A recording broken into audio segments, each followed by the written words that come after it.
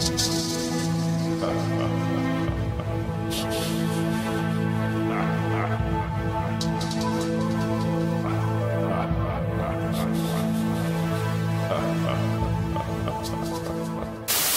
Welcome to another episode of Untold Legends, where we explore the stories found within the world of video games, movies, comic books, and anything between. In part 1 of the perfect Castlevania timeline, we saw the man once known as Matthias Cronqvist betray his close friend Leon Belmont in order to inherit the powers of darkness and leave his humanity behind. After Leon swore to hunt down Matthias and all like him, bloodline continued hunting the night for generations, and Matthias was reborn as Vlad Tepes Dracula, Lord of Darkness and King of the Vampires. But after the Belmont clan finally confronted Dracula through the efforts of Sonia Belmont in the mid 1400s, she spared his life and he agreed to leave the humans alone. With the battle over, Dracula moved his castle to another location away from her village, and Sonia gave birth to her son Trevor Belmont. Trevor's father died while he was still young, and he was raised by his mother throughout his adolescence in the Belmont estate. She followed the Belmont traditions of her ancestors and taught Trevor the same monster hunting techniques that she had learned growing up. But Trevor was too young to master the vampire killer whip. The true story and technique behind the whip's creation was mostly lost to time, mysterious even to the Belmonts, and multiple attempts were made to replicate it. One attempt came close and resulted in a whip consecrated to kill demons. While nowhere near as powerful as the vampire killer,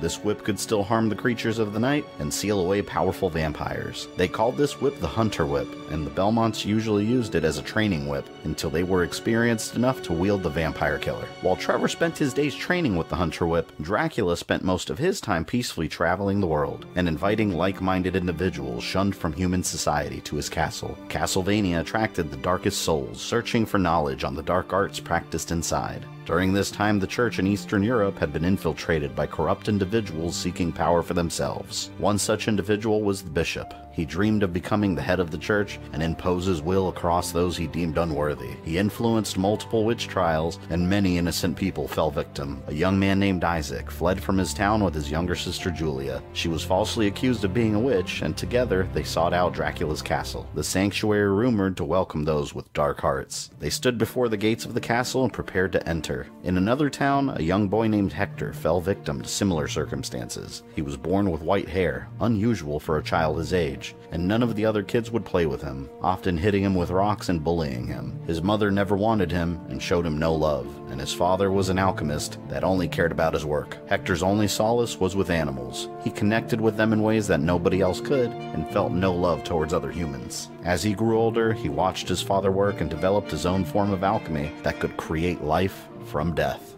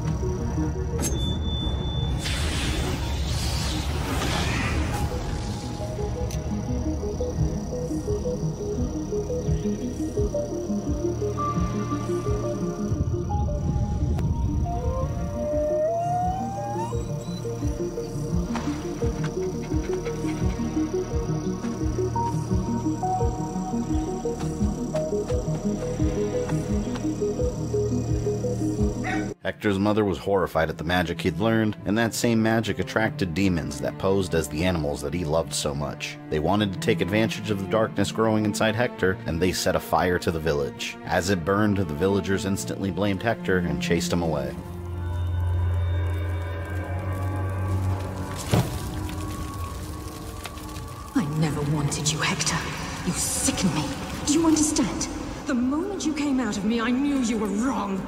Alchemy is for money and power, boy. Money and power and buying our safety are all that matters. Stop whining about cruelty. This is the world. This is the way things are. Now get away from me. Hector? Hector, unlock this door at once!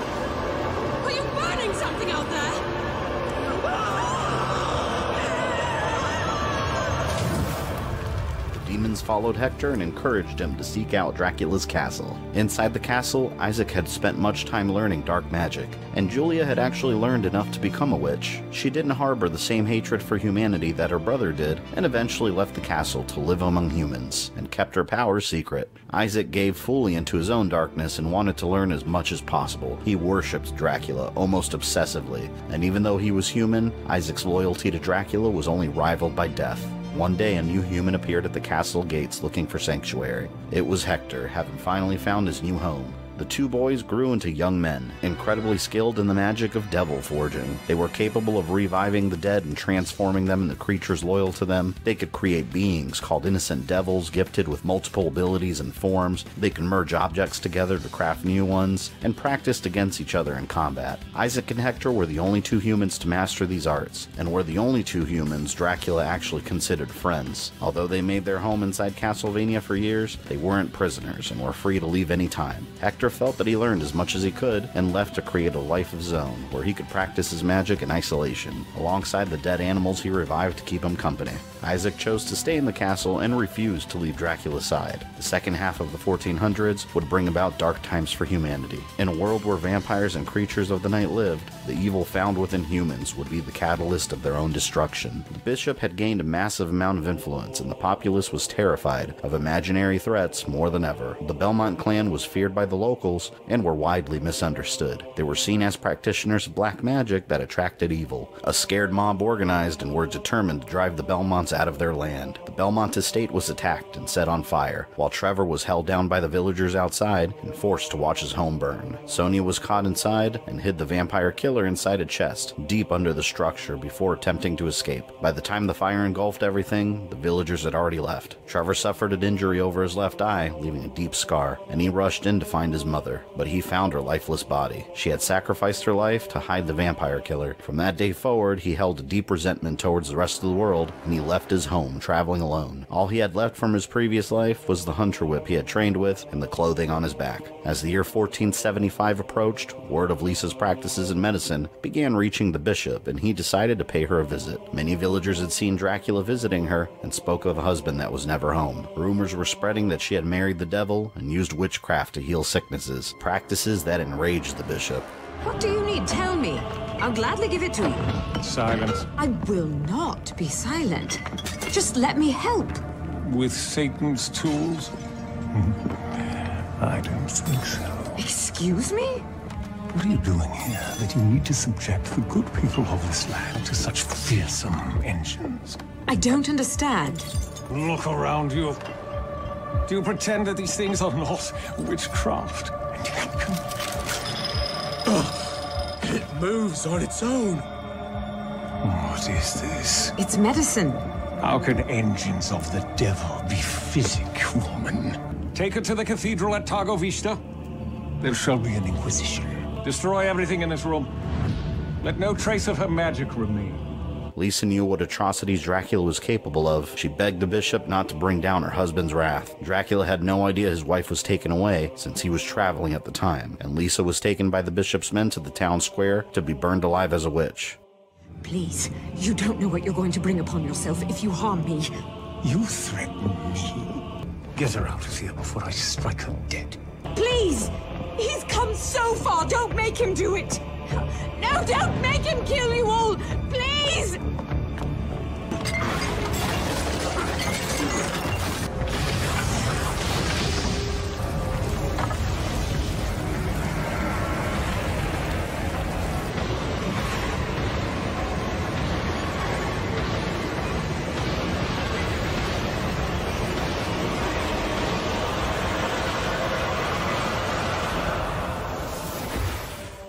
Alucard rushed from the castle to rescue his mother. When he arrived, he saw his mother being prepared for execution and tied up. She urged him not to act. Saving her would almost certainly require Alucard to cause a great deal of harm. In her final words to her son, Lisa stated, Do not hate humans. If you cannot live with them, then at least do them no harm, for theirs is already a hard lot. It took everything within him to hold back his desire to rescue his mother, but he respected her wishes and returned to the castle distraught.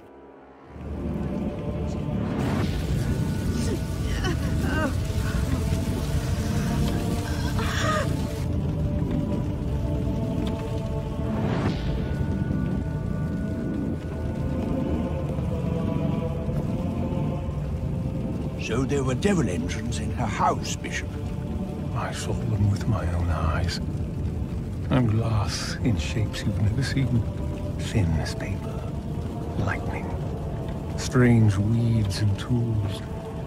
Witches' things.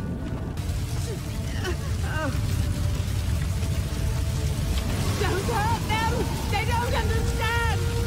Who's she talking to? I believe she's exhorting Satan not to take revenge on us. They don't know what they're doing! Be better than them! Please!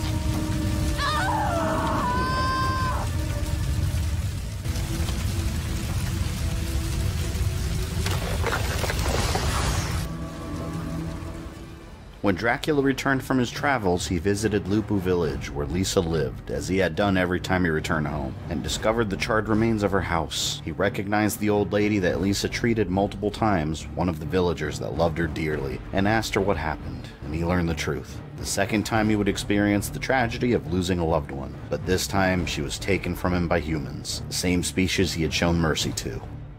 I couldn't be there. I don't care what they say. I won't take joy in that woman being killed by the church. I'm here remembering her instead. I do this last kindness in her name. She who loved you humans and cared for your ills. Take your family and leave Wallachia tonight. Pack and go, and do not look For no more do I travel as a man.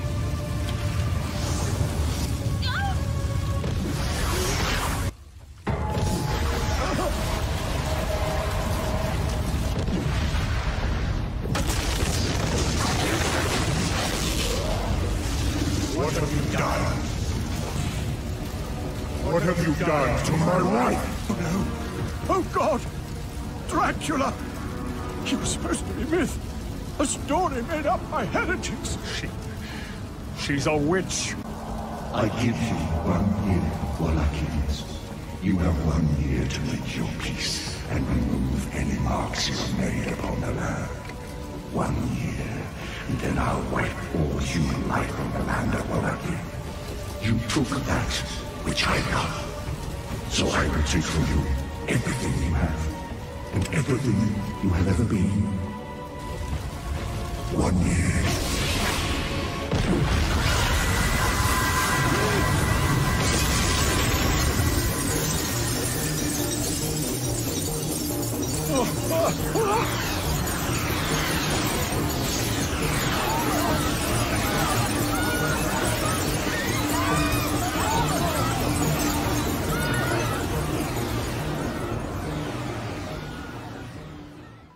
All the work Lisa had done to bring back the man inside Dracula had been undone by the actions of the bishop. Dracula was beyond being consoled for the murder of his wife. He had loved her fiercely, and the human race would pay for their crimes. Dracula demanded the complete and utter extinction of mankind and calculated it would take him one year to form an army big enough to wipe out all life. He began summoning creatures from hell and forming plans to destroy the entire world. First, he would start in Europe, then the rest of the world. His loyal devil forger Isaac was equally enraged about the death of Lisa and promised to help Dracula destroy humanity. He also reached out to Hector to help him complete his armies, but he knew Hector didn't harbor the same hatred that Isaac did. Instead of revealing his true plan, Hector had to believe that humanity would simply be maintained and controlled.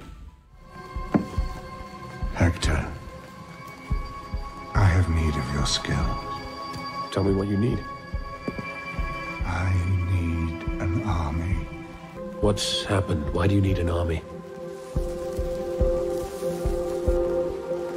They killed my wife. Hey,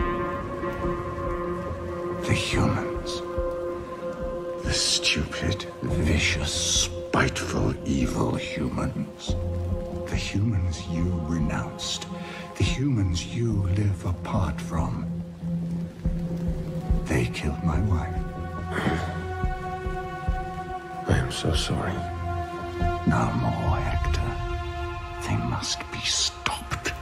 Hector barely recognized Dracula. He hadn't seen him in some time, and he was far from the strong, educated man he once knew. Dracula seemed so broken and seething with a deep rage. It was painful to see him in that condition, and Hector agreed to help him build his army, as long as it was used to scale back the human race and keep them from causing any more harm. Hector moved back into the castle and began his work.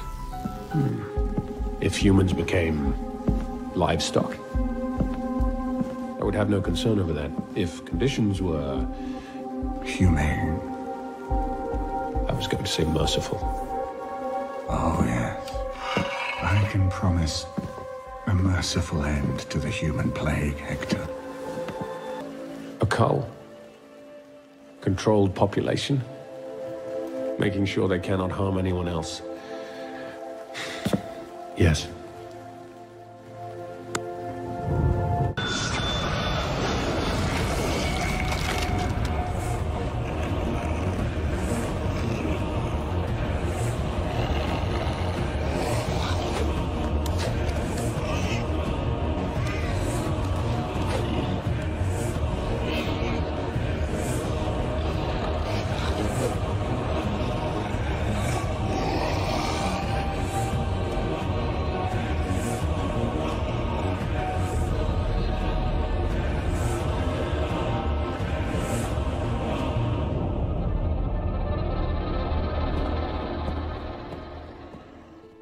Dracula summoned vampire lords from all over the world and placed them in charge of his armies, while Isaac and Hector continuously forged new monsters. Alucard attempted to quell his father's anger, but the man he knew as his father was completely gone, replaced by murderous rage. With a heavy heart, Alucard left the castle and truly understood that he had no choice but to confront his father. His father had to die. Alucard, they called me. The opposite of you. Mother never liked that. Did you know that? She hated the idea that I might define myself by you, even in opposition to you. She loved us both, enough that she wanted us to be our own people, living our own lives, making our own choices. And so here I am, choosing to honor my mother by killing my father. No longer Adrian Tepes. Choosing to be Alucard of Wallachia. The name of my mother's people. I'm sorry, Mother. I grieve with you, but I won't let you commit genocide. That woman was the only reason on Earth for me to tolerate human life! Then find the one who did the deed. If you loose an army of the night on Wallachia, you cannot undo it. And many thousands of people just as innocent as her will suffer and die. There are no innocents! Not anymore! Any one of them could have stood up and said, no, we won't behave like animals anymore. I won't let you do it.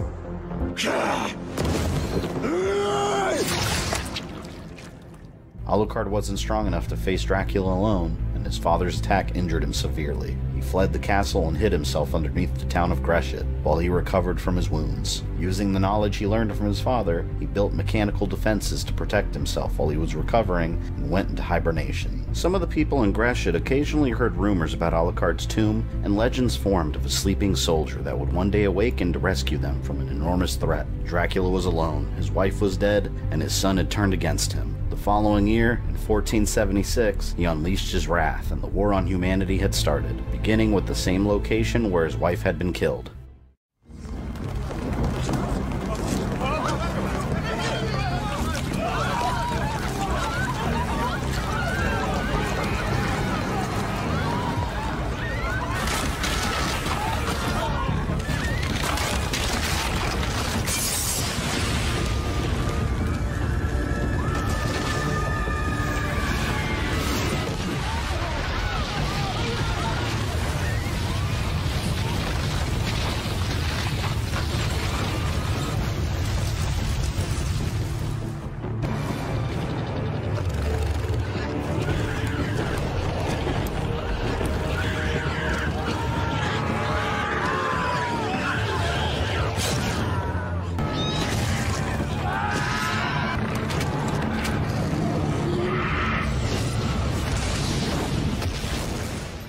Eastern Europe was thrust into a state of chaos. The monstrous hordes would come at night and decimate villages whole, leaving few alive. And the church sent a massive army of their own to fight back. The army was annihilated with little effort, and they desperately reached out for help. For some time, the church had secretly used people talented in magical arts to fight for humanity against dark forces, and the Speakers answered the call. Speakers were a group of nomadic scholars that passed on their history orally and sought to help the people of Wallachia. They were talented in powerful magic and agreed to help the church destroy Dracula, but the bishop had plans of his own. When they arrived in Wallachia, he demonized them and convinced the population that they were the ones responsible for the hordes of monsters attacking. The speakers went into hiding and helped the people from the shadows. In the town of Gresit, the speakers heard rumors of the sleeping soldier underground that would save the world, and the elder speaker's granddaughter, Sypha Belnades, went off by herself to find him, but her mission was a failure. On the way, she encountered one of Dracula's Cyclops and was turned into stone, condemned to a living death, and unable to move. Rebel groups were forming in multiple locations, planning to storm Dracula's castle directly. One of those groups was led by a man named Grant Danasty, a noble pirate in his younger years that had amassed an enormous fortune and retired to the countryside. But Dracula's monsters had destroyed his home and taken the life of many people he cared for. His group made it to the castle but were decimated by the creatures inside. Grant was the only survivor. As punishment for leading the group, Dracula turned Grant into a mindless creature, a transformation that could be seen happening from a distance.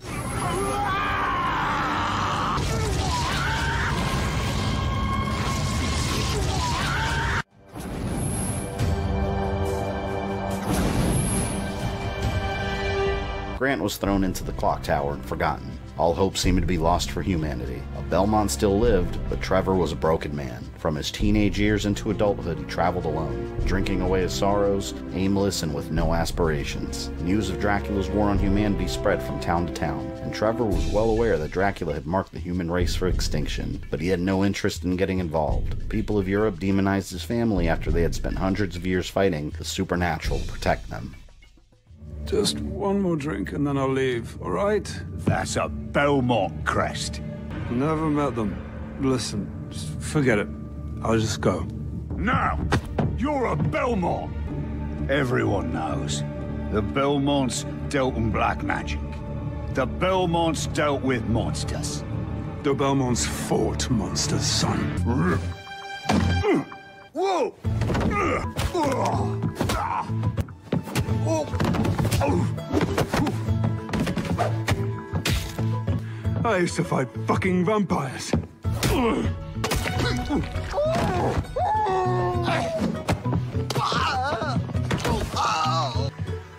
Trevor fucking Belmont. And I've never lost a fight to man. nor fucking beast. Oh, Christ.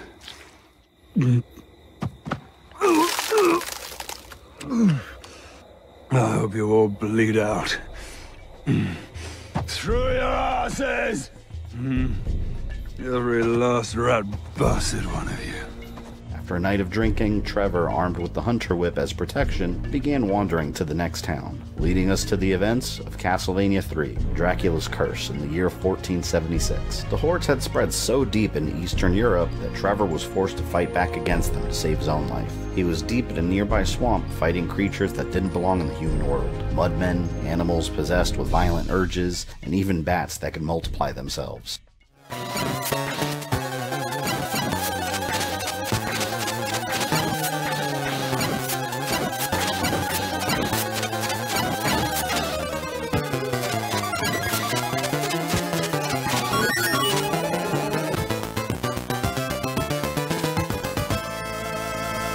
Trevor continued through the forest overnight and arrived in the town of Gresit. He saw firsthand the senseless slaughter of innocents that Dracula's hordes were causing. Men, women, children, it didn't matter. After speaking with the people in town, he learned that a group of speakers were there. Belmonts knew the speakers were a nomadic tribe and magically gifted, but the townspeople were convinced that the speakers caused the monsters to come, due to the bishop's teachings. Once the bishop learned that a Belmont was in town, he summoned him. And Trevor questioned the false accusations he was making against them, same crimes that were committed against his own family.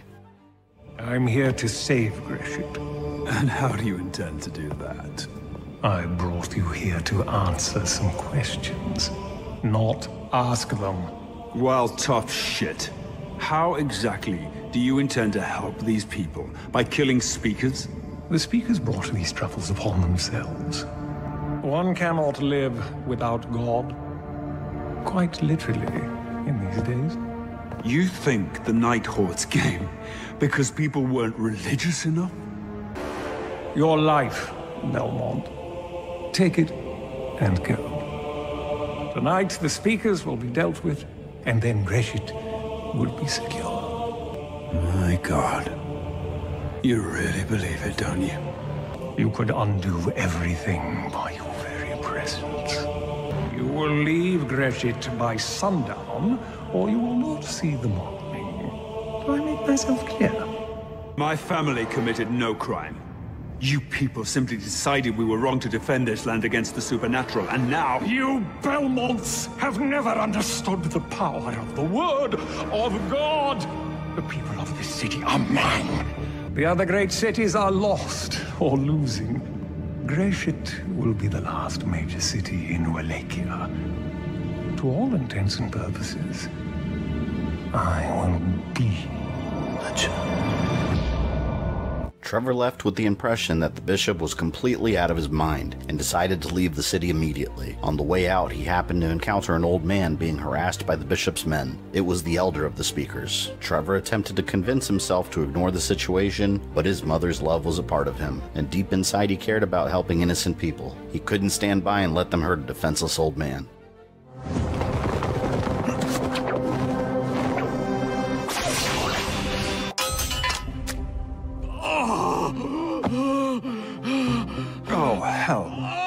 Sorry. I was trying to snatch the stave out of your hand. How's your finger? What fucking finger? Kill him now! Last warning, this'll get nasty.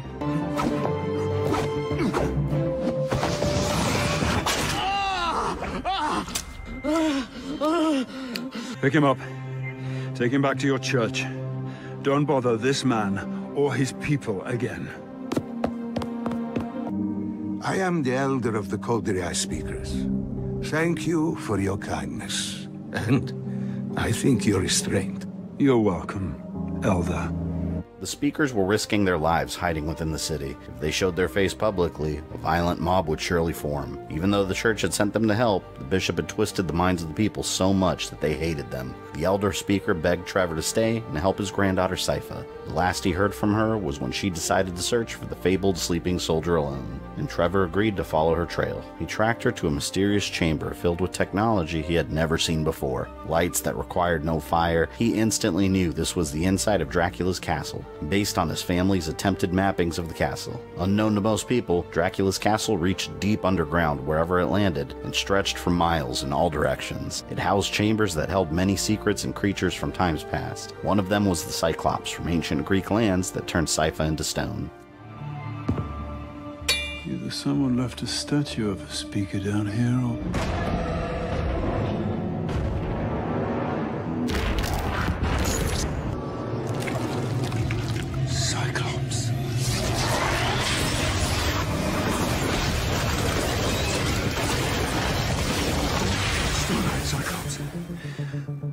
family bestiary.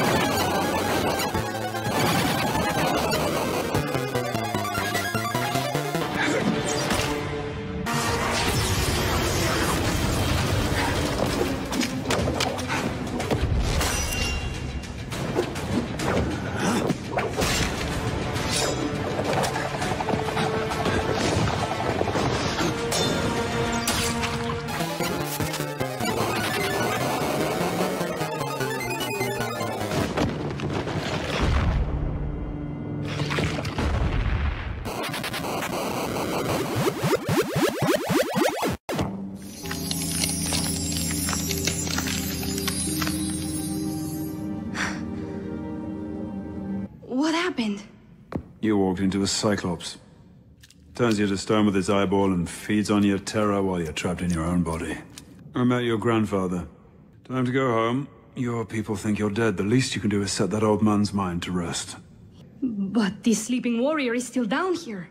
There is no sleeping warrior. Just a cyclops waiting for people stupid enough to go looking. The old wisdom says the tomb is guarded. Yeah, yeah. Come on. Sypha reunited with her grandfather, and he thanked Trevor for rescuing her. Trevor urged the speakers to leave the city before nightfall, but they refused. The speakers were determined to stay and help the people of Gresit, and the elder knew Trevor had it within him to reclaim his family's honor and fight for the human race. I don't think we can leave these people. Not in their time of need. These people believe you're causing their time of need. Does one run away when someone tells lies about them? What have the Church said about the Belmonts? That you have been corrupted by dealings with the supernatural? And what did you do in the face of that? I didn't run away. Really? So what are you running to? You're calling me a coward. No. I am calling you defeated, Trevor Belmont. You fought your battle, and you decided you lost. We didn't have a choice. Perhaps. But we do. You'll lose. We might well lose. But if nothing else, we might show someone that although battles are won and lost, there is a larger war at stake. A war for the soul of our people. Because if we truly are the sort of people who will kill one another at the behest of a madman's fantasies, then perhaps it is right and proper that things from hell should rise up to wipe us out. It's time for those of us who fight that war to stand up and be responsible, Trevor Belmont. The Elder's words inspired Trevor to defend the city as night fell, and Dracula's armies returned to destroy what had survived from their last raid. The undead were returning to life outside the city, and skeleton knights were appearing from the underworld. Trevor unleashed the might of the Belmont clan on the monsters, but many demons had already made it within the city. The bishop hid away inside his church, waiting for the speakers to be killed, people he saw as pagans that threatened his rule. But his false sense of security was about to be shattered, and the sins of the false holy man would be repaid.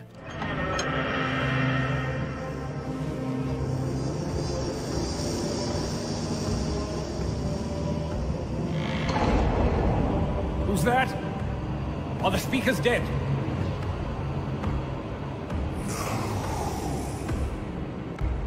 Well, get back out there. The speakers have to die before the sun goes down. The sun is already down.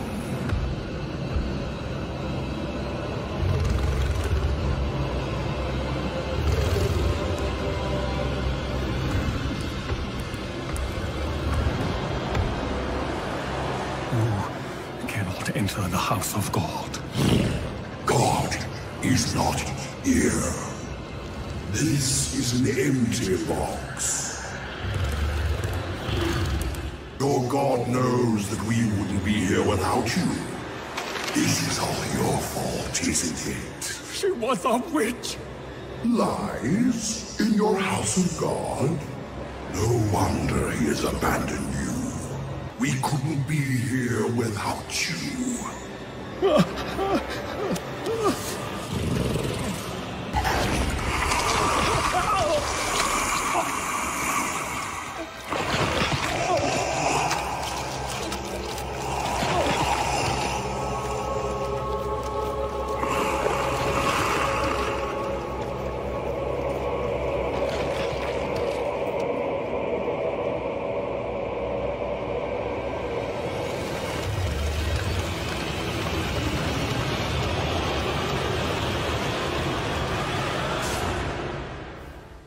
man responsible for causing the genocide of the human race was dead, and Sypha fought alongside Trevor to defend the people of Gresit. And for the first time, Trevor witnessed thankful villagers looking up to a Belmont for protection instead of fearing them. My family, the family you demonized and excommunicated, has fought and died through generations for this country. We do this thing for Wallachia and her people. We don't have to know you all. We do it anyway. And it's not the dying that frightens us. It's never having stood up and fought for you. I am Trevor Belmont. of the House of Belmont. And dying has never frightened me. He took charge and gathered them to fight back. Even if he challenged Dracula, he couldn't be everywhere at once and taught them how to defend themselves using techniques he had learned from Sonia. Up front, now! What? Why? Because I'm the only man here who knows how to fight these things. Everyone with a pike or long weapon, get out in front with me. Six in front, six behind, and in between. Pikes forward! Hold steady! I need a priest. One who was properly ordained in a church. Grab some people. Go to the nearest well, start drawing water. You know what to do with water, yes? For the aspersion? Go! Sypha, Yes. I want them walled in when they hit the square. I want it so they can only come towards us. I want salt over here! As much as you can find! Everyone with a sword wipes their blades in the salt.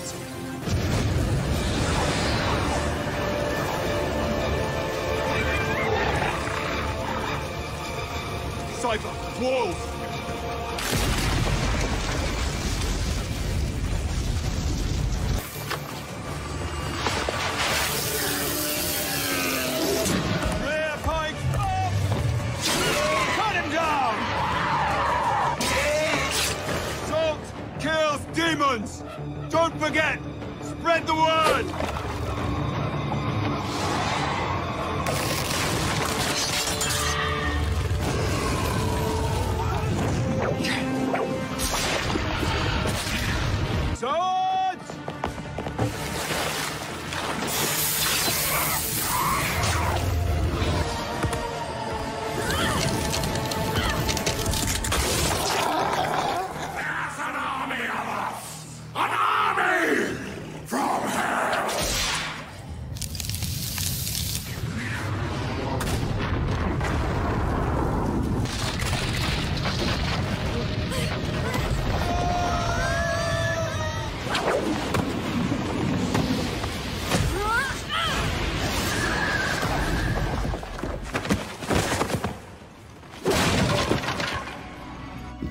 Explosion caused the ground to shatter underneath Sypha and Trevor, and they found themselves deeper into the catacombs than where she was originally found. Sypha had barely scraped the surface of the hidden chambers inside. They traveled through avoiding many death traps. Alucard was recovering deep inside, and the traps he had placed were necessary to protect him while he was hibernating. Trevor and Sypha eventually found his chamber, and she excitedly believed that she had discovered the sleeping soldier. But Trevor knew better than to believe such myths. He knew exactly what Alucard was.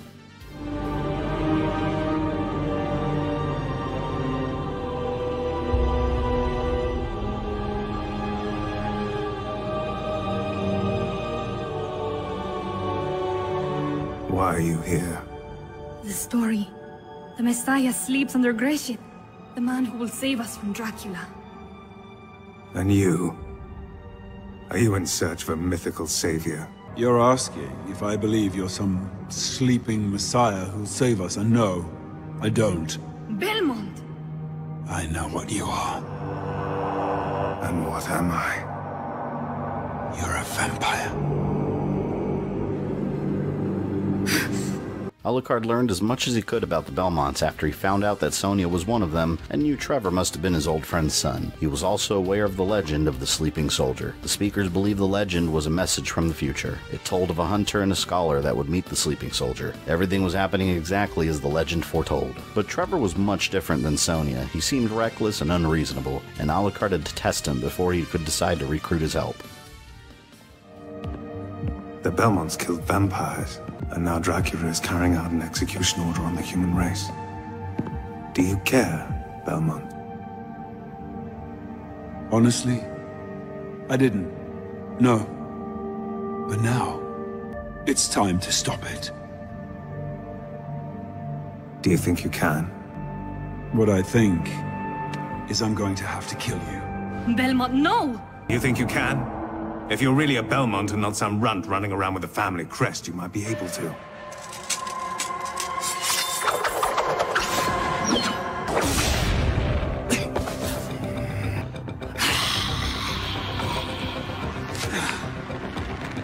Stand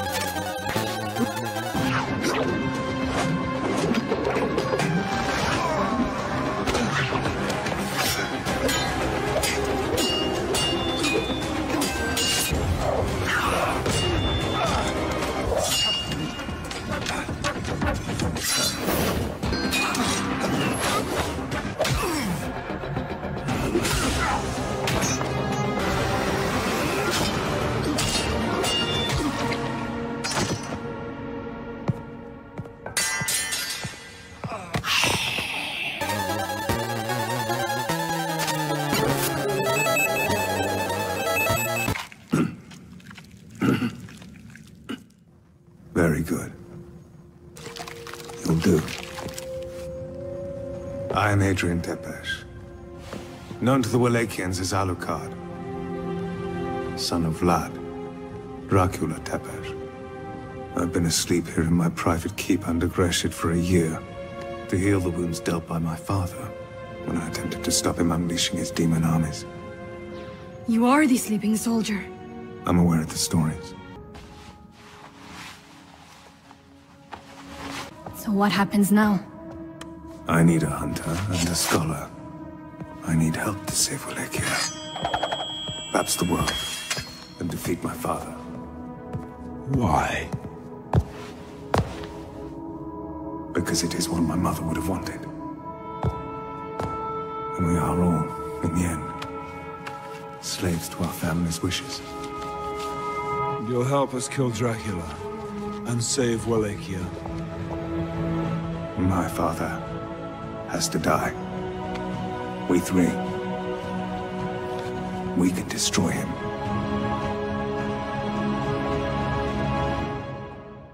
Alucard decided to join forces with Sypha and Trevor to destroy his father. Word quickly spread of Dracula's forces being pushed out of Gresit by Belmont. Humanity was beginning to regain hope that a savior was fighting for them, and the news of a Belmont still existing reached Dracula. He remembered the threat that Sonia posed, and her child could be an even bigger problem for him. When Dracula's vampire generals discovered that a Belmont was on his way, his court fell into a full-blown panic and chaos ensued. A Belmont? If there is a Belmont left alive, then should we not observe the ancestral Belmont home? Why? Perhaps on the general notion that the Belmonts hunted the likes of us for fucking centuries. And if there's one left alive, then it may have access to the trove of weapons and magical materials talked of across generations but never found, which they used to hunt us through fucking centuries. This is your war council, my lord? While they argued what to do next, Trevor and his allies decided to travel back to the old Belmont estate, where he grew up. His training as a full blown vampire hunter wasn't complete before his mother died, so his knowledge on Dracula and the castle was very limited. He knew his ancestors before him had a problem locating it, with the castle constantly moving from location to location. If the estate held any secrets that could help them, it would be hidden underneath its ruins. And after traveling for miles in the forest, Alucard detailed his father's plans to destroy the human race. He had read his books filled with potential horrific ideas to exact his revenge against those that wronged him. He's gone mad. And from that, there is no recovering him. Shame. It's a tragedy. He's a repository of centuries of learning. He could have changed the world. I think he might have, if Mother hadn't died. If the religious inquisition hadn't proved true all of his worst instincts about humans. And now he's going to use her death as an excuse to destroy the world. All the world will still be here, Belmont. But you won't be here. And you won't be here. None of you. He writes in great books, you know. He hews the covers himself from oak and wraps them in the preserved skin of the people who he hated most. And he writes plans, I've seen them. Ideas for darkening clouds and making them as permanent in the air as the frost of the north. Great, strange flying machines that pull shrouds across the sky to block out the sun. A world without humans, under endless invented night. And Dracula and his castle. His revenge so horribly complete that there is nothing left to do but look out over a world without art or memory or laughter, and know that he did his work well. That he did it all for love. It was time to continue moving towards the Belmont estate. The forest was still filled with monsters traveling the roads from city to city, and the trio of Trevor, Sypha, and Alucard combined their powers, working together to destroy a small group led by some of Death's direct subordinates, Slagra and Gaibon. The demon knight Slagra wielded a powerful spear, and his companion Gaibon transported him in the air and generated fireballs.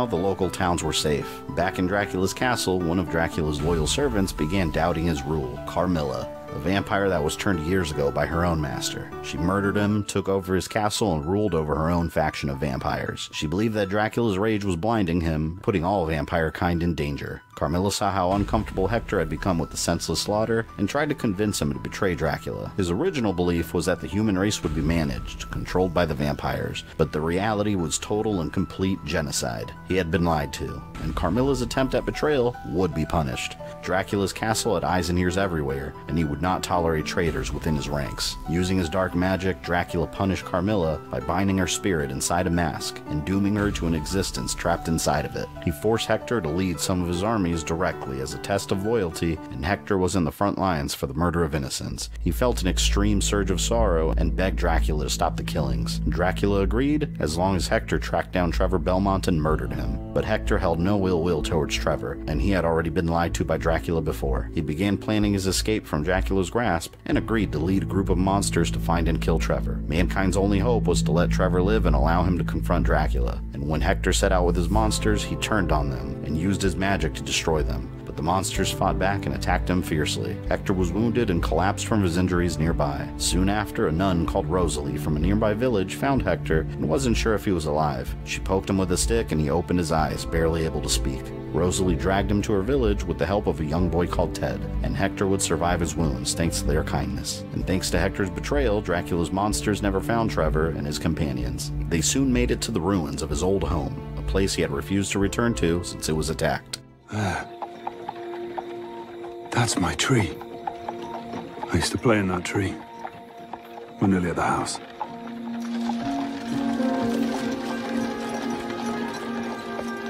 It's hard to imagine you playing. Yeah? I suppose so. It was everything, that tree. It was my house and my boat and my fort. Anything I wanted it to be. Good night, tree. The underground entrance of the Belmont estate was protected by a powerful magic barrier placed by one of the Belmont ancestors, and Trevor had no idea how to open it. He never learned to read, and he wasn't well versed in any magic. But Alucard and Sypha recognized the ancient language used to place the barrier, and she performed a spell to unlock it. Inside, they found the astonishing sight of a massive library of knowledge gathered by generations of Belmonts before Trevor.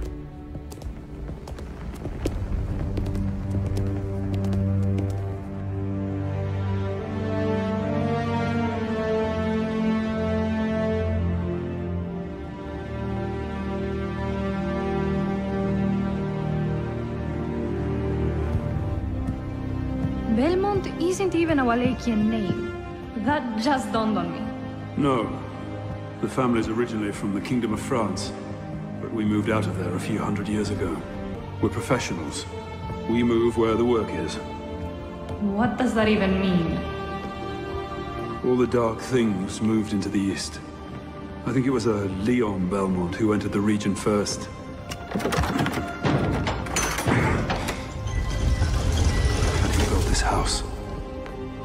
And dug the foundations for everything under it.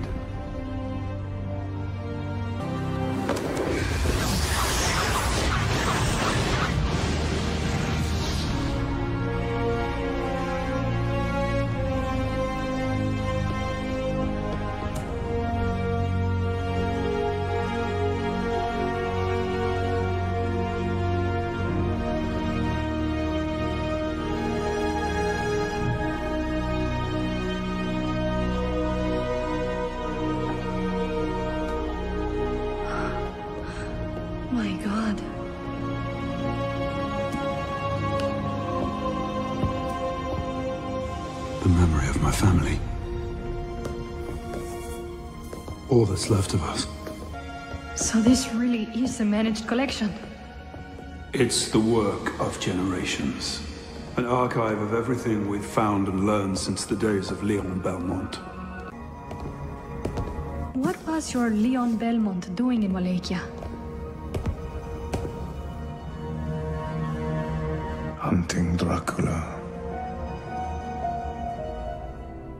Inside the library, Trevor noticed a hidden chest, and he knew it contained his destiny the vampire killer that Sonia had hidden before their home burned down.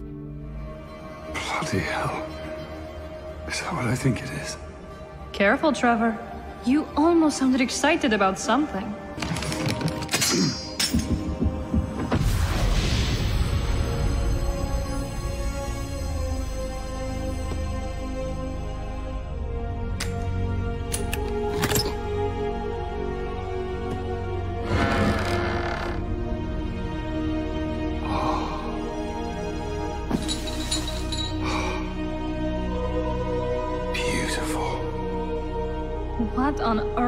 That ugly thing? I don't believe they hid it. It's the Morning Star. Some of Dracula's monsters had followed them to the Belmont estate and were threatening to barge in, and Trevor prepared to use the vampire killer whip the first time. Long ago, Leon's own children had discovered how to upgrade the whip's form into its chained appearance they called the Morning Star, making it even deadlier than it already was before. His confidence was returning to him, and the vampire killer responded and felt like a natural part of him. Underneath the estate, he also discovered the sword that his ancestor Leon Belmont wielded, and prepared himself to slay the enormous Minotaurus and the monsters it let in.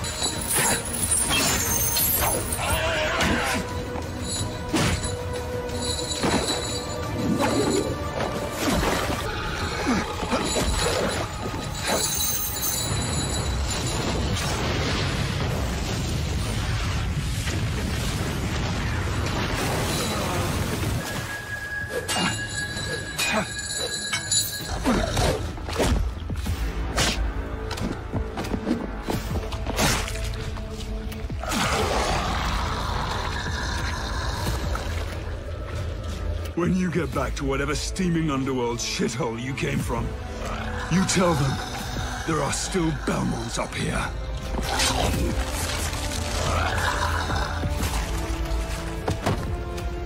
Dracula could feel the destruction of the creatures he had sent to the Belmont estate. Trevor was still alive. Hector had failed him, but a thought wouldn't leave Dracula's mind. After giving him a home and teaching him the dark arts, had Hector betrayed their friendship? Isaac couldn't believe that Hector would betray Dracula, and he was commanded to find Hector and return him to the castle. If Hector had indeed betrayed him, he would be turned into a hideous monster and forced to eat sewage. Isaac was sent with another group of humans loyal to Dracula to find Hector, while Hector was recovering in Rosalie's village. It was a strange feeling he hadn't felt before, being shown kindness by a human. Growing up in his village, he was hated by his parents and the rest of the villagers, but Rosalie nursed him back to health, and the young boy that helped Rosalie save him, Ted, came to visit. Isaac had sent a werewolf to follow Hector's trail, and it followed directly to Rosalie's house. She yelled at Ted to run, but the boy was paralyzed by fear, and the wolf grabbed him. Hector heard their screams, grabbed his sword, and rushed to save them. With a single swipe, he decapitated the beast, rescuing Ted and Rosalie. Isaac sensed the werewolf's death and smiled with glee.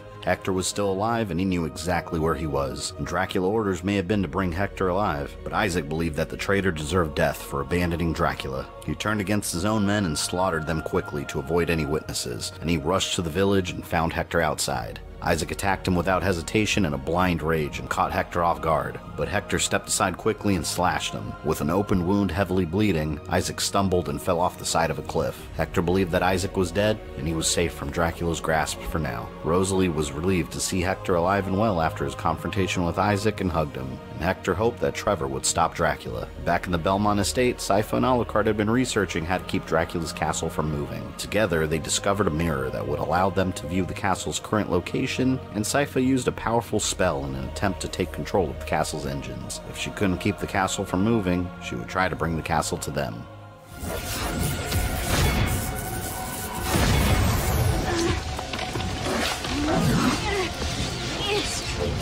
Me. It's like I'm pulling against an anchor and a water wheel all at once. It.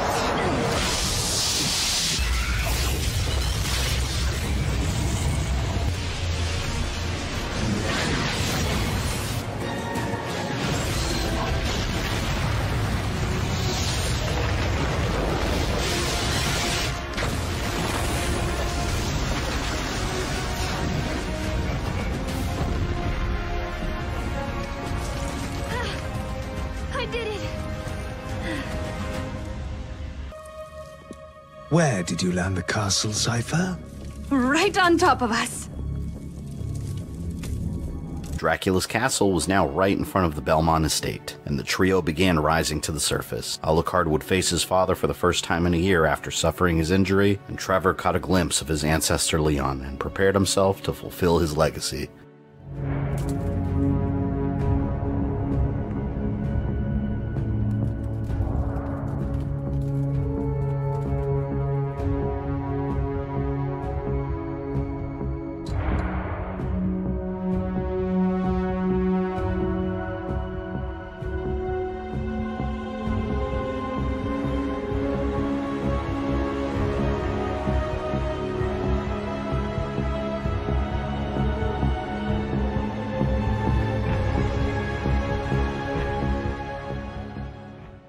Immediately after entering the castle, Dracula's vampire generals from all over the world caught a glimpse of the vampire killer and were frozen with fear. The Belmont had made it inside alongside Dracula's traitor's son and a speaker.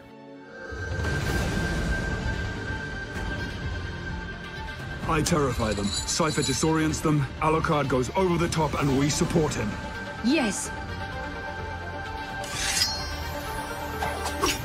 Begin.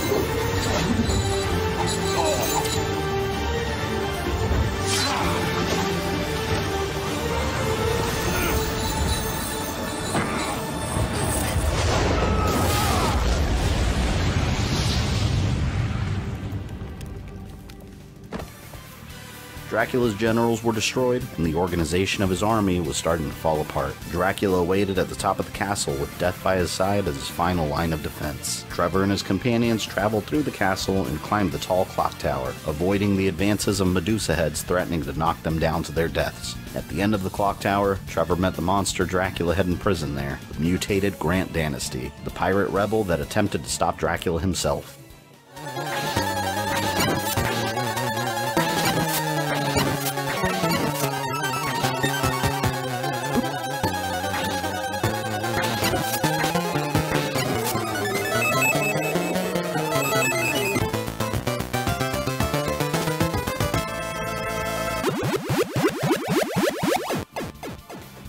Defeated Grant and broke the spell that Dracula had placed on him. His human form returned, and he told them how to get to Dracula's throne room. Grant climbed down the tower towards the exit of the castle himself. While Trevor, Alucard, and Sypha faced Dracula, he would help the surrounding villages fight off the hordes. Getting to the throne room required them to make it through the ghost ship crashed on the side of the castle that Galamoth had used long ago in an attempt to escape top of the ship led to the entrance of the castle's upper levels where several monsters resided, including Medusa, who was previously defeated by Sonia. But the monsters inside Dracula's castle never truly died as long as their master was still alive. It also held an ancient mummy from the faraway lands of Egypt, being possessed by the evil spirits within, and a monstrous creature created from the body parts of several different humans and brought to life by electricity.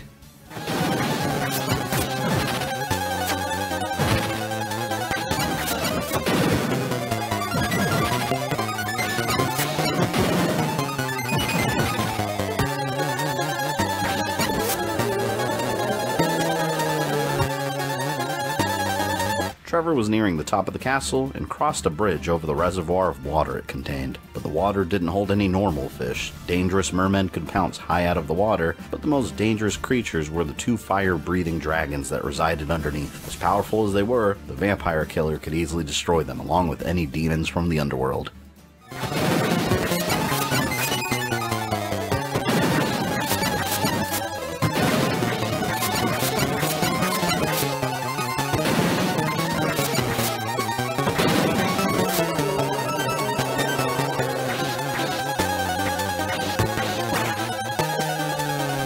Trevor fought his way through the onslaught of possessed suits of armor and skeletons of dead warriors as Sypha and Alucard supported him. One of the demons that enjoyed taunting humans in the castle was the Doppelganger, the same kind of entities that Leon faced in Walter's castle. The Doppelganger took the form of Trevor and copied his movements. The demon could attempt to imitate him, but it didn't have the years of training that he received as a youth. After destroying the doppelganger, they reached Death, Dracula's right hand monster and final defender. The last time Death faced Belmont, he was defeated and retreated. This time he was determined to make sure that the bloodline was finished.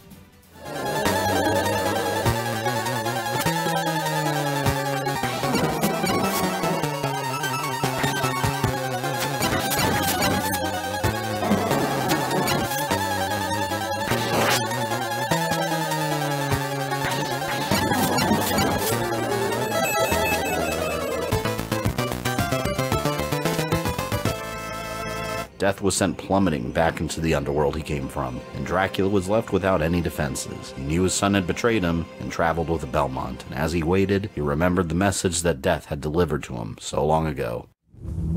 You have become a cursed being, and I will never forgive you.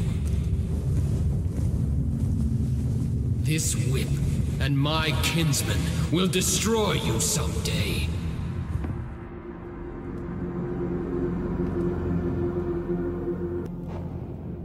Your war is over. Because you say so. It ends in the name of my mother. It endures in the name of your mother. You couldn't stop me before. I was alone before.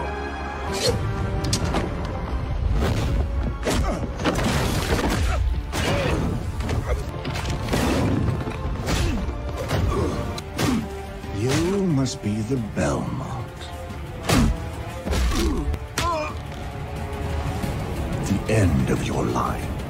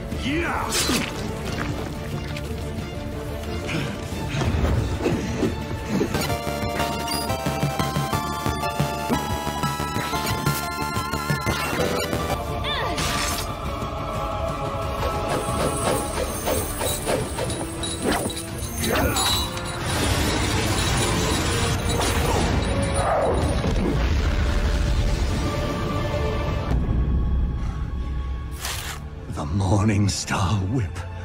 Well played, Belmont.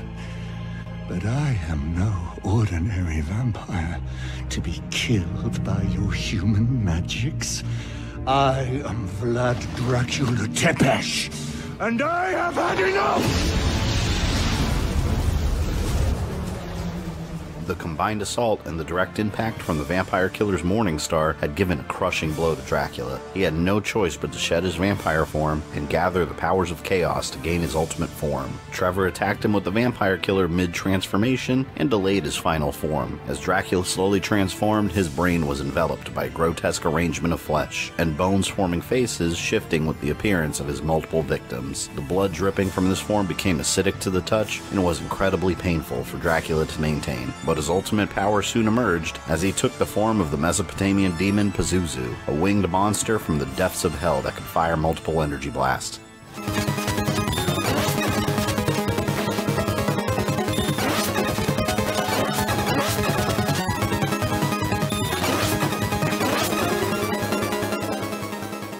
Dracula's final form was defeated, and he reverted back into his vampire appearance. He was completely drained of his dark powers, and Alucard took the opportunity to stake his father.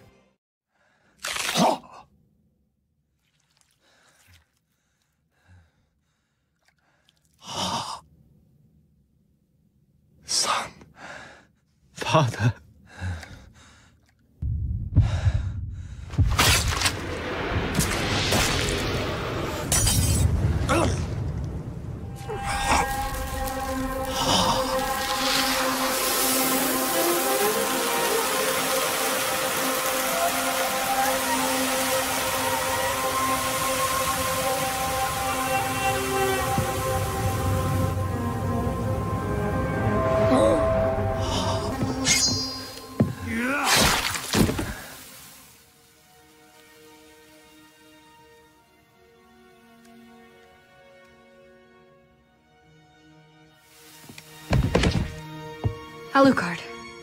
Step back.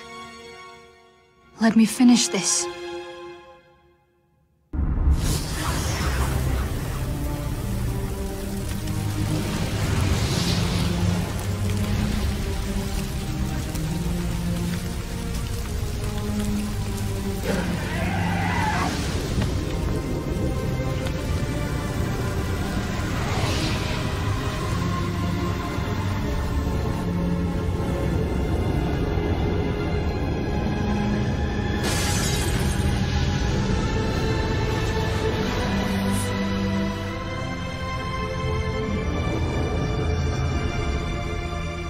Dracula's power held the castle together, and his death caused the structure to begin crumbling. Just as Dracula was killed, Isaac was struggling to make it back to his home, still alive but heavily injured from his fight with Hector. He could feel Dracula's power disappearing and witnessed one of the castle's creatures disintegrate right in front of him. The darkness in the land was dispelled, and Isaac swore that Hector would suffer immense pain for what he did, ending the events of Castlevania 3 Dracula's Curse. The following morning, they returned to the castle ruins to ensure that Dracula was dead, and Alucard pondered what he would do next. He had gained an immense respect for the Belmont bloodline and felt that he had nothing else to offer the world. He planned to make the ruins of the castle his grave and put himself into hibernation for the ages to come. But Trevor offered him a better solution. He offered Alucard the Belmont estate, more importantly, the treasure trove of secrets it contained underground. Behold, you sulky half-vampire bastard. I bequeath you the Belmont Hold. Make that and the castle your home, not your grave. Be its last defender. You're giving me your home. It's yours. My childhood home and your childhood home. Protect it. Make something out of it. Something better than a pile of ruins and a symbol of terror. Alucard accepted the offer and bid his companions farewell. All the hordes Dracula unleashed on the world didn't just vanish with him. Some areas were still in danger from various threats, and vampires still existed. As a Belmont, Trevor still had much to do, and Sypha decided to stay by his side as his partner. But for now, there was a moment of peace. The next couple of years brought major changes, and Alucard often found himself reminiscing about his life. He never had the opportunity to mourn his mother, and was haunted by the fact that he helped kill his own father.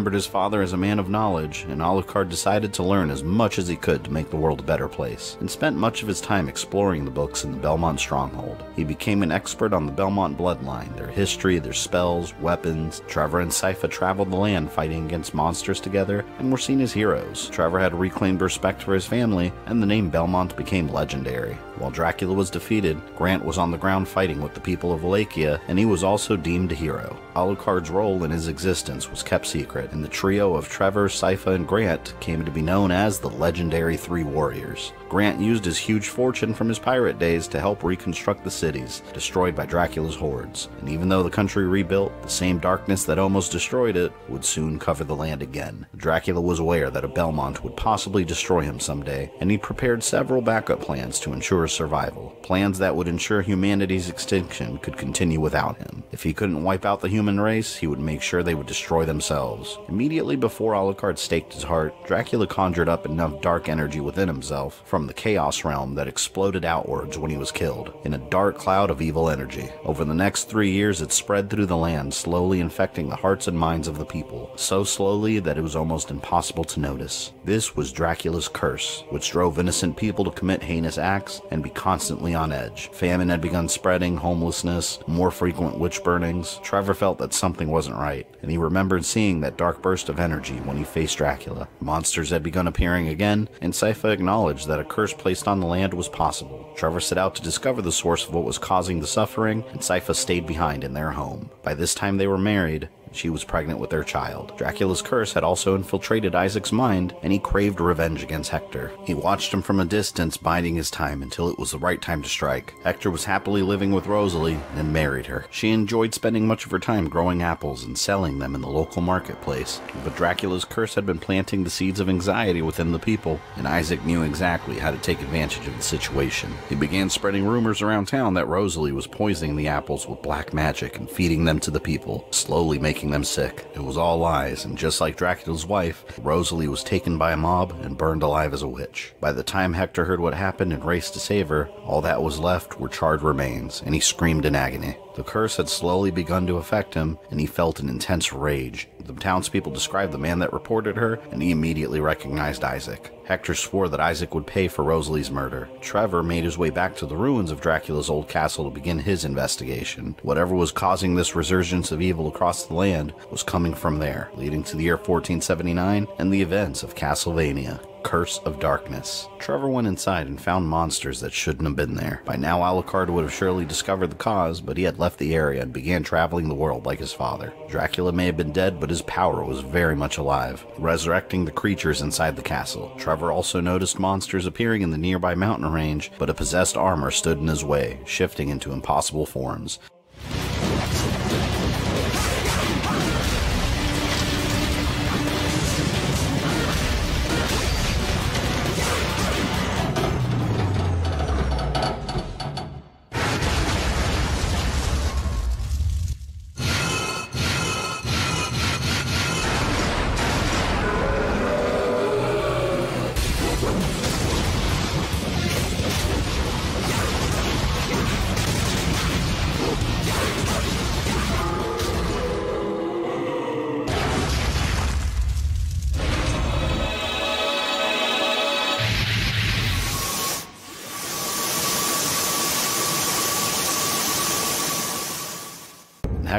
Close behind, following Isaac's trail to the ruins of Castlevania.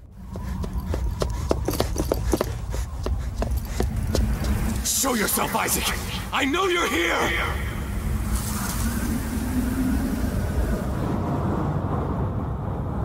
Hector! Is that you?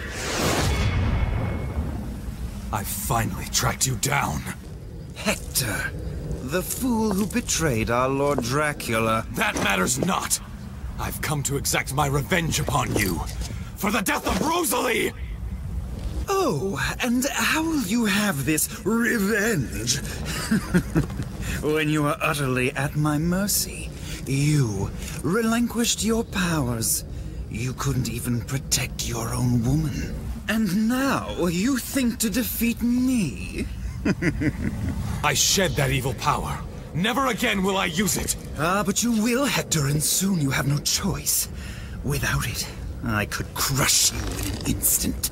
You deserve a most gruesome fate for the humiliation you brought upon me three years ago.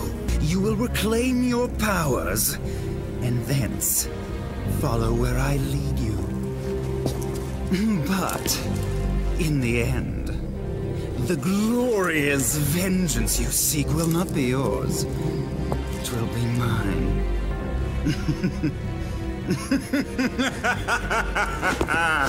Heed my words. I will hunt you down like the beast you are! I will have my revenge. Isaac taunted Hector to follow him inside the castle. Hector was in no condition to face Isaac with his current level of power. After he married Rosalie, he gave up devil forging to live a life of peace with her. In order to exact his revenge, he would have to revert to his old ways and use his powers to summon devils at his side, exactly as Isaac had planned. Dracula's curse had inspired Isaac to cause Rosalie's death and work towards resurrecting Dracula. His elaborate plan was designed to strengthen Hector enough to be used as a vessel to resurrect him. And when Hector arrived in one of his devil forging chambers, he met a mysterious stranger named Zed, who had been watching him for some time now. Well, well. Devil forging, isn't it? Never seen that before. Quite impressive. It's enough to make your blood run cold. Who are you? Oh, my apologies, my lord. I should have offered an introduction. I go by Zed. I'm here for one purpose only. To purify this land of the pestilent curse which infects it. I see. You, on the other hand, are pursuing the other Devil Forge Master, are you not? The one you seek fled toward the chapel on the other side of the mountain. He made his escape through the back of the castle. What concern is this to you? He is the one protecting the curse. Ergo, he is an impediment to me, and to all those who abide in this land. I see. Very well. I, Hector, thank you for your help. Now, if you'll forgive me, I must be on my way. Zed was a priest claiming to seek the means to lift Dracula's curse. In reality, his intentions were much more nefarious. Although Trevor had defeated death three years ago, the curse created enough evil energy to resurrect him shortly after, and he took the form of Zed to ensure his master's resurrection went as planned. Zed continued guiding Hector to Isaac, watching the coming events unfold. And Hector had made it to the same room that Trevor had recently been in, where he battled the Crazy Armor, and followed the path to the Baljhet Mountains. Zed had seen Isaac running through the area, and Hector found it littered with monsters that he recognized from his time as one of Dracula's servants. And in these mountains, he would make a discovery that would shock him. He met Isaac's sister Julia, who was the spitting image of Rosalie. It can't be. That's impossible. She can't be alive. Oh. May I be of service? Uh, no. Forgive me. My name is Hector. What are you doing in a place like this? I could ask you the same question, sir. I am searching for someone. A man bearing the same crest I'm wearing. And this man, is he your enemy or your friend? You sound as if you know him. Yes, quite so. Now answer me. Be he your friend or foe? He is my most bitter enemy. I see. In that case, I shall help you. Pardon me, milady. But by what reason would you offer me this boon? Indeed, by what reason should I trust it? Your enemy is my enemy. That is reason enough. If you are a Devil Forge Master, you shall need a place to keep your little friend safe. Rest assured you have no reason to refuse my help. You seem quite knowledgeable. Who are you exactly? A witch. I escaped from the Western lands where we were hunted like vermin. I have the power to envision the future. How interesting. And your name? Julia. My house is further on. I shall prepare an elixir that may be of use to you. Farewell, for now.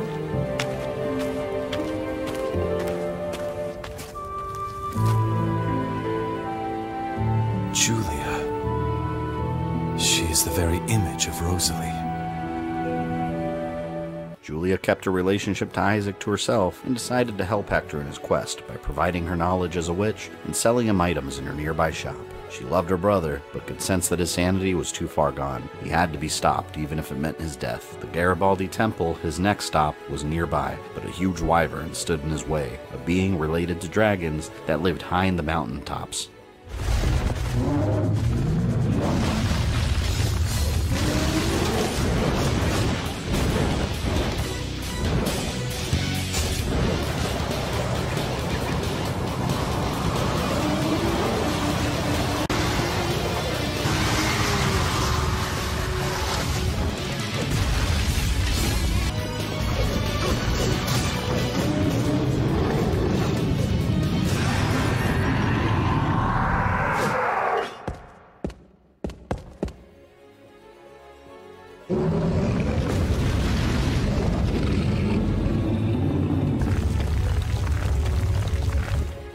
Defeating the wyvern, Hector made it to the temple and met yet another person unfamiliar to him called Saint Germain, urging him not to pursue Isaac for his own mysterious reasons.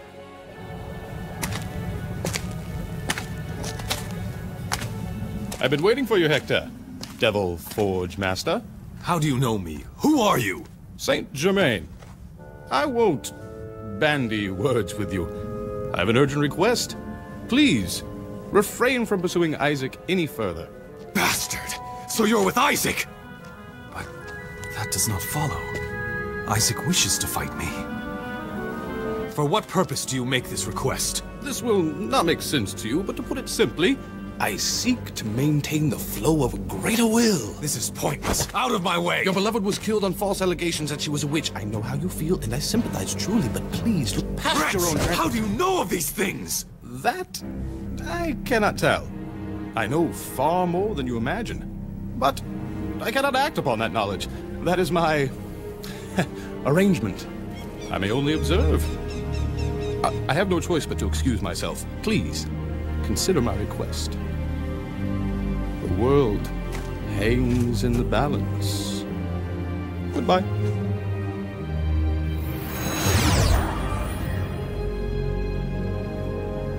Who was that?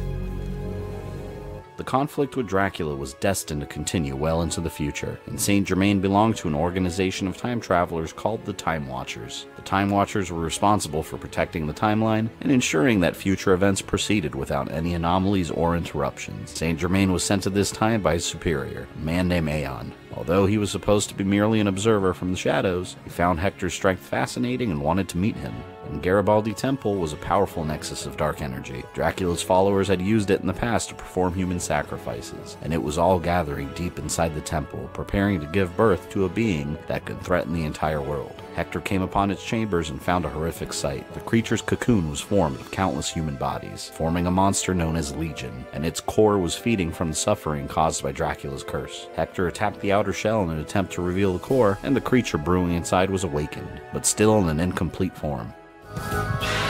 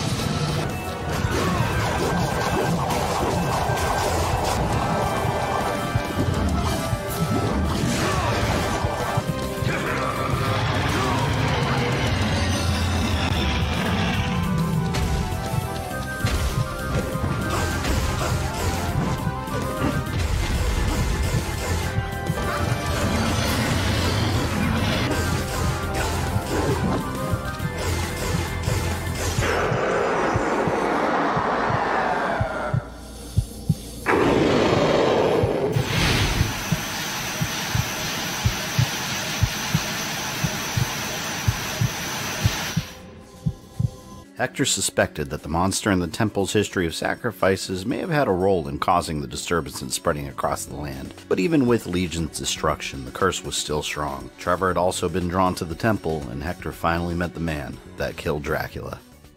That whip! Could he be? Answer me! Are you the Devil Forge Master? I am. Then this is the hour of your death.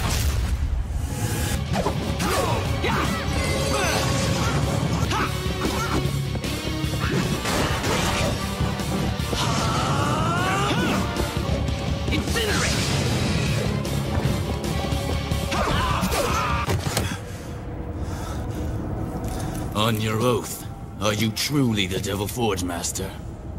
And if I am? For one that served under Dracula, you seem much too weak. It's been said that the Devil Forge Master's power rivals that of death. Ah, so you are hunting for Isaac as well, I see. As well? Then you're not... Wait... I recall there was another Devil Forge Master. They say he betrayed Dracula and forswore his powers, but that was three years ago during the war. Could he have survived? It cannot be. Believe what you like, but answer me this. Are you not Trevor Belmont, the one who defeated Lord Dracula? That I am, though I did not fight alone. There were many brave warriors beside me. And your name, sir? Hector. Hector. I shall remember that name.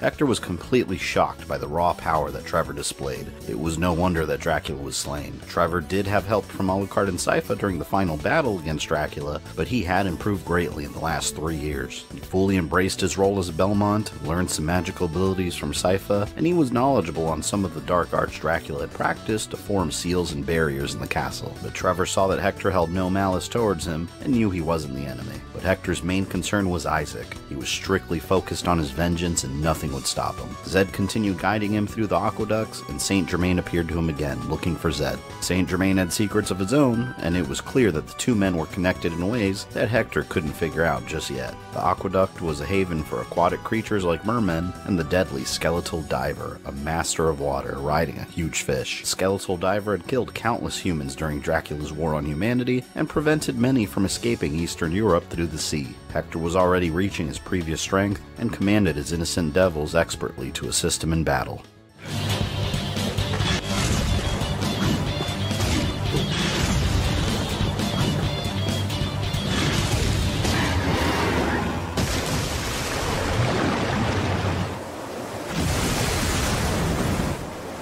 Town of Cordova was close by, and Hector believed that the locals could have information on Isaac's location. But first he had to cross the haunted forest of Jigramunt, filled with deadly threats that would end a normal human, and caught a glimpse of Zed and Saint Germain arguing. Saint Germain left, and Zed was clearly frustrated with his appearance. Saint Germain had formed a rivalry with Death. He represented time, and Death found him to be a nuisance. Monitoring the timeline meant that the Time Watchers could interfere with any plans not in accordance with recorded history, and Death would use any means necessary to ensure Dracula's return. Another resurrected creature from Dracula's war was the Minotaurus that Trevor had killed underneath the Belmont estate. The beast was returned to life, furious and bloodthirsty, with an open wound on its back.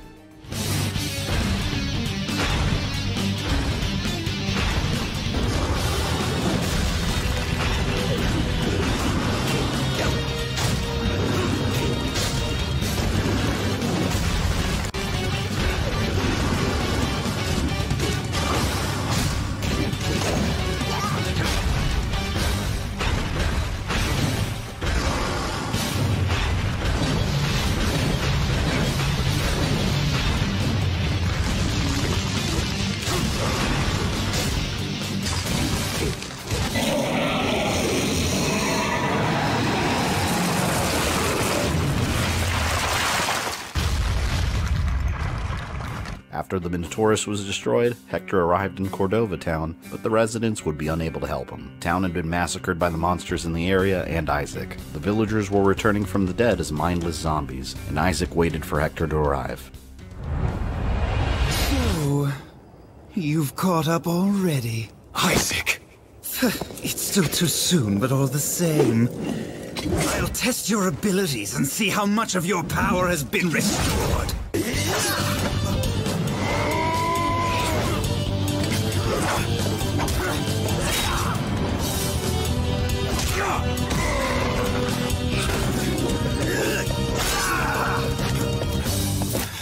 Ah, how gratifying. Your power is indeed returning, but it's still not enough. Brother, stop!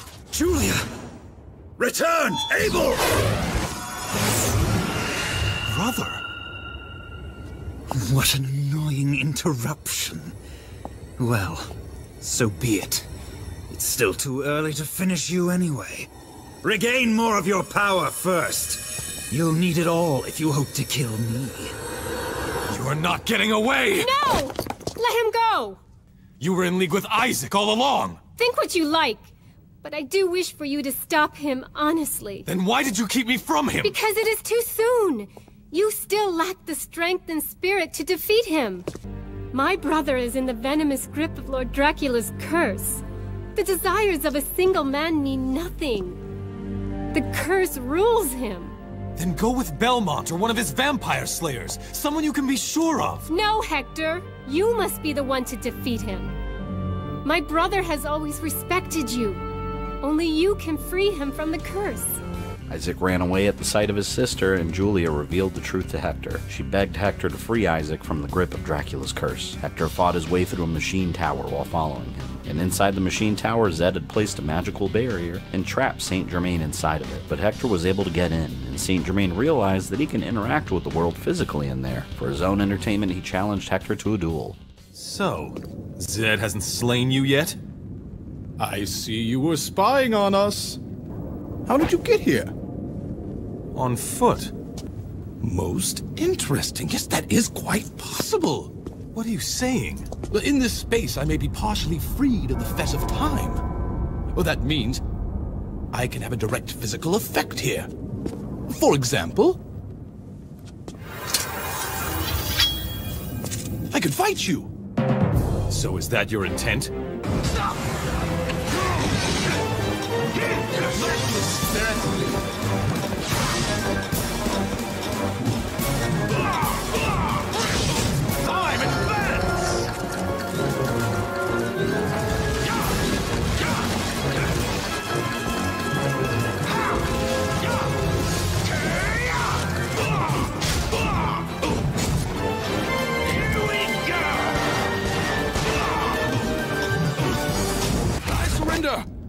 I promise not to interfere with you again.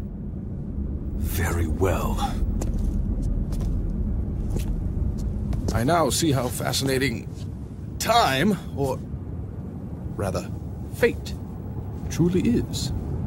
Just who are you? A traveler. Only half here. Not allowed to speak the truth. Not allowed to act upon reality. Yet, one who knows all. That about covers it. I see. Not allowed to speak the truth. Uh, please forget everything I have told you.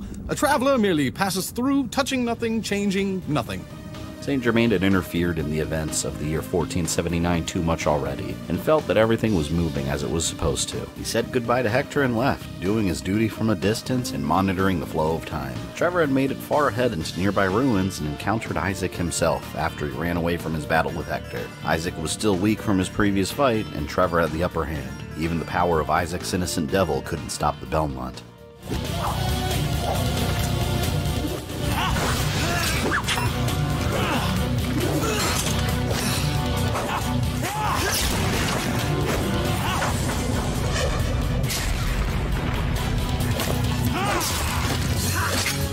Vanquish Lord Dracula by a fluke, a mere twist of fortune. Yet I grant you are adept. Hector!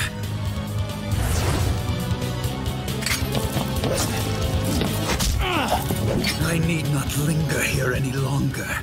I've gotten what I need. But mark me well. I will slay both of you without fail. Without fail. He fled when he saw you. There can be no doubt of it then. You are indeed his enemy. Just as I told you when we first met. Be that as it may, I am the one who shall vanquish him. Your meddling is unwelcome. Leave him to me.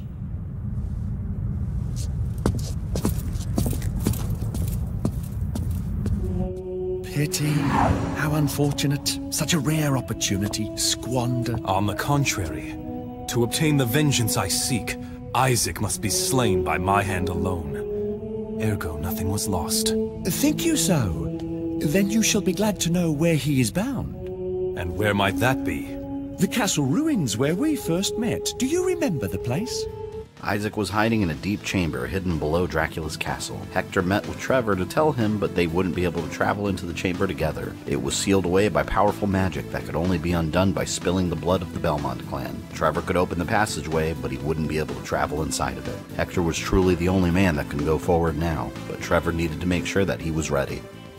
It cannot be avoided.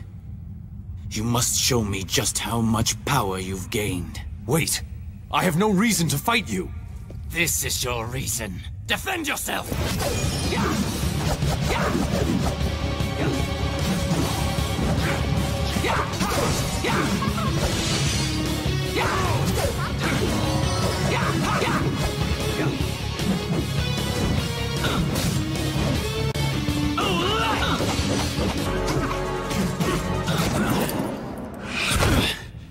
It's as if you're an entirely different person.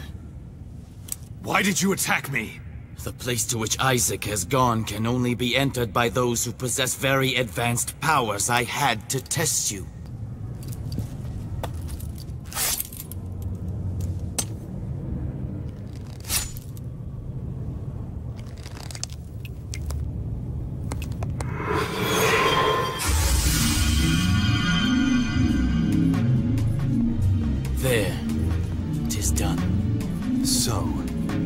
Belmont blood acts as a key.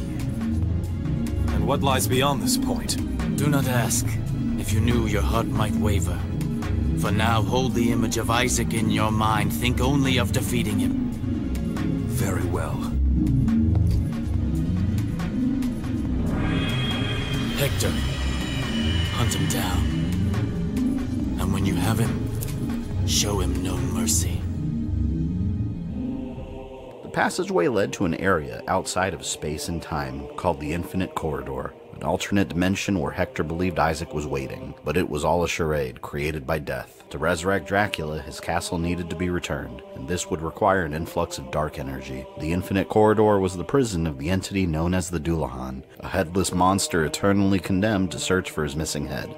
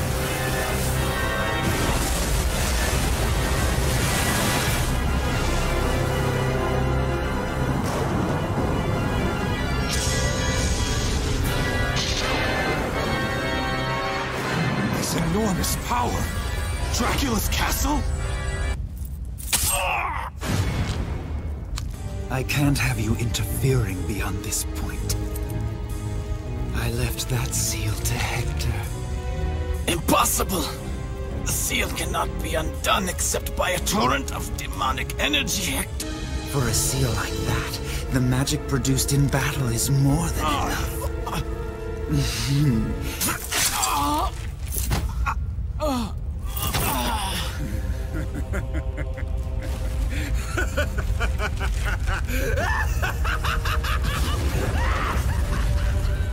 Isaac's plan had been revealed. Defeating the Dullahan released all the internal dark energy it held, and it was channeled into resurrecting Dracula's castle. Castlevania had taken a new form and appeared in a different location. Trevor survived the injury from Isaac, but barely.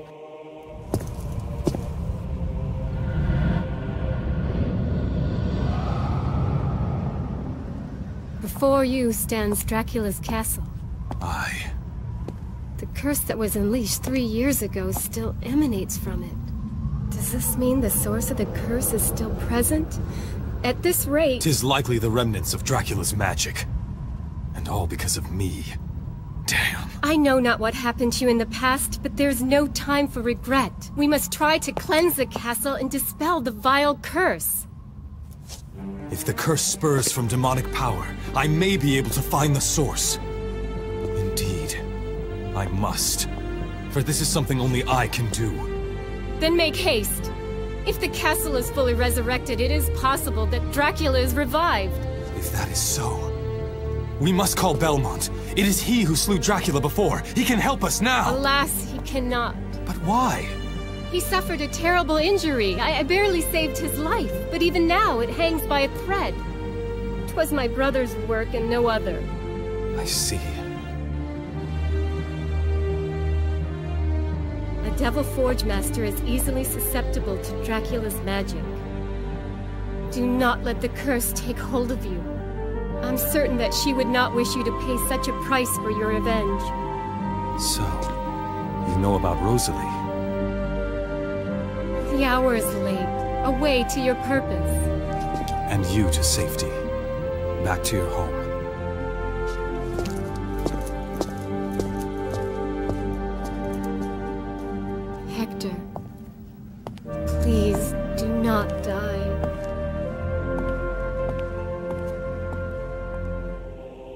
Would have to face whatever presence was inside the castle by himself. Since the castle changed form, the inside was naturally unfamiliar to him, and some of Dracula's strongest servants made their home inside, resurrected alongside it. Hector dreaded the thought that Dracula could be alive again. He could feel Isaac's presence and was well prepared for the battle. Hector was able to summon a similar demon called the End that Isaac had also used, and the immensely powerful weapon the Laser Blade, a one-handed weapon that many believed didn't exist, but a Devil Forge master had deep knowledge on weapon crafting. This would be the final battle between former allies.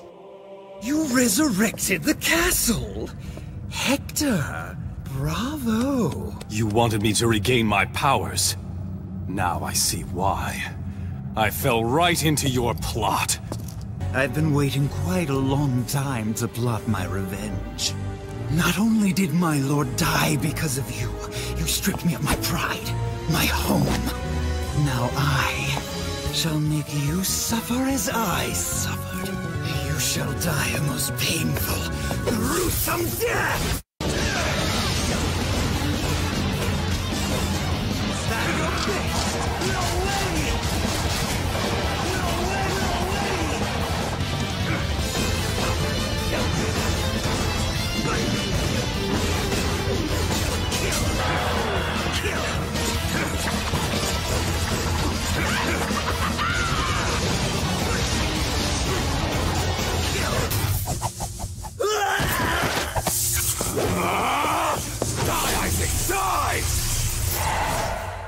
Not let the curse take hold of you. This murderous impulse. This thirst for bloody vengeance. This is not me. It is the curse. Dracula's curse!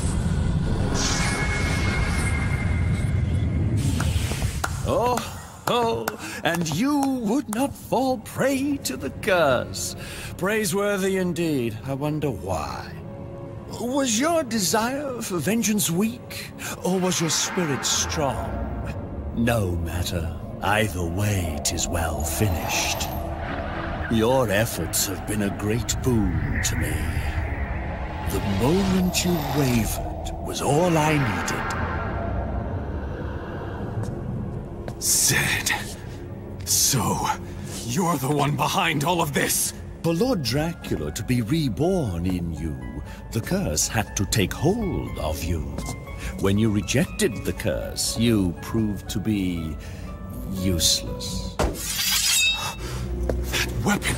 You are none other than death! Soon my master will enter Isaac's body. Though you were favored, Isaac will do. Dracula will once more walk the night. And as for you, it is time for you to die. Death had no more secrets to hide. He shed his Zed persona and unleashed his fury on Hector. He hoped that Hector would allow the darkness inside to take over, but he constantly resisted, making him an impossible vessel for Dracula's return. He believed Isaac to be an inferior substitute, but there was no other choice left. The resurrection would take some time, and Death needed to keep Hector distracted until the ritual can be completed. Mere human has beaten me. Hector rushed to Dracula's throne, hoping his old master hadn't returned, but it was too late. Dracula had resurrected, and Isaac's body took his form. And for the first time since Hector left the castle, Dracula faced the traitor he deemed responsible for his defeat.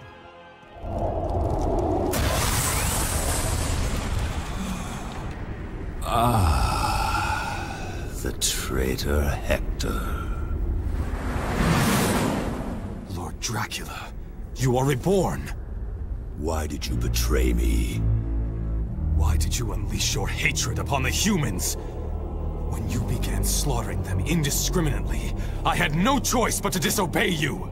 You side against me for the sake of humans. Humans are not worth the air they breathe. I sentence them extinction. Sympathy is merely a form of weakness. You betrayed me, Hector. And for that, the punishment is death. I stand ready. I will not flee as I did before. Power ah!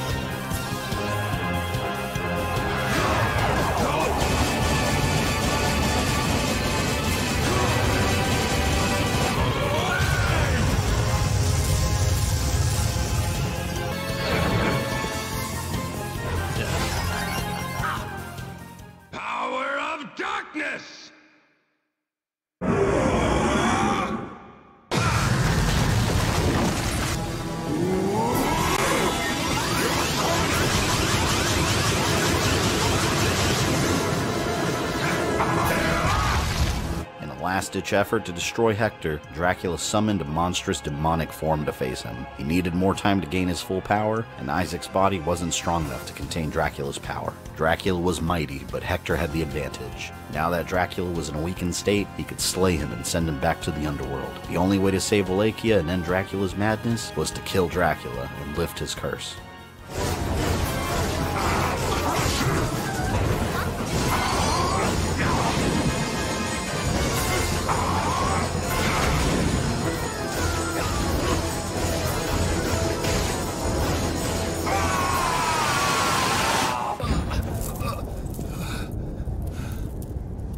Transformation. Was it not complete? So it would seem. Oh, the curse. My soul may return to the abyss, but the curse will not be lifted. It will fester in the hearts of humans until they obliterate themselves. Have you forgotten? I am a Devil Forge Master. I can turn your curse aside, transform it into something harmless, and so it shall be.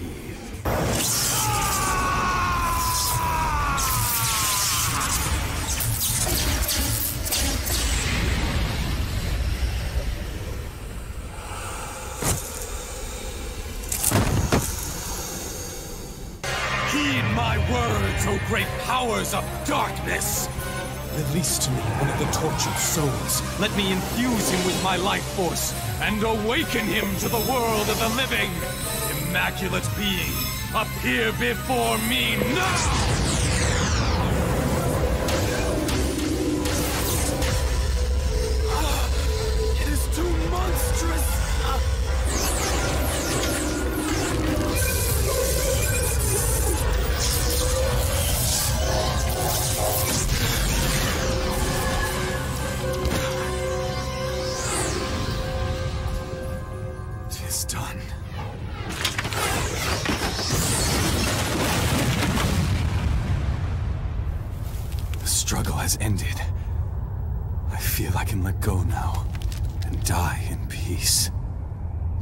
Ghastly. Julia! Why did you come here? I thought you might be contemplating something foolish, like letting go. You see through it all, don't you? You've paid your debt, have you not? From this day on, you must live true to your own heart.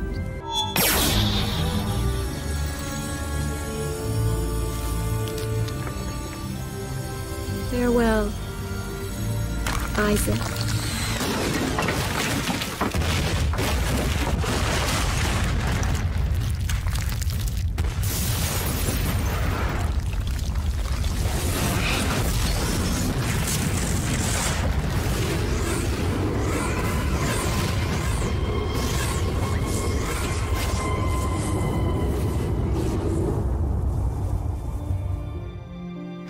Was destroyed and his full resurrection was prevented. The curse lifted from Wallachia, and the evil festering in the hearts of the people vanished. Peace had finally returned. Hector and his innocent devils decided to live with Julia, and Trevor returned home to Sypha after healing, ending the events of Castlevania Curse of Darkness. Join me next time for the perfect Castlevania Timeline Part 3 The Order of Shadows, where a new world healed by time is free from the terror of Dracula, but a cult appears from the shadows that worships Dracula as their god, and Trevor's descendants must ensure that the same destruction Dracula caused would never be seen again.